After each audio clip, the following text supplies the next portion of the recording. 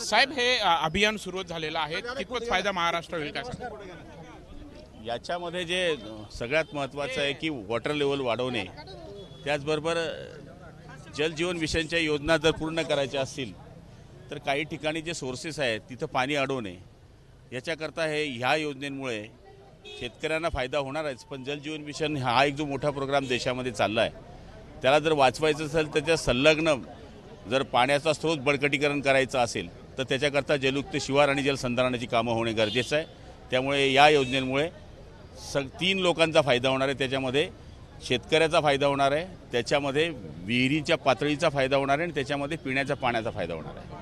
साहेब दुसरा विषय आहे उद्धव ठाकरे यांनी म्हटलेलं आहे की राष्ट्रपती राजवट लागू करा गुन्हेगारी घटना वाढल्यात तसं त्यांना त्यांचा विषय तो आहे. दोन तीन घटना घडल्या म्हणजे राष्ट्रवादी राजवट लागवाय कर- करावी ही जी मागणी आहे माझ्या माहितीप्रमाणे ही चुकीची मागणी त्यांची आहे.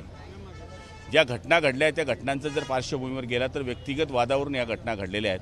असं काही जनतेमध्ये प्रक्षोभ होण्याकरता घटना घडल्या त्या चुकीच्याच आहेत. पण अशा पद्धतीनं ह्या बारक्या कारणामुळे राष्ट्रपती राजवट लागावी.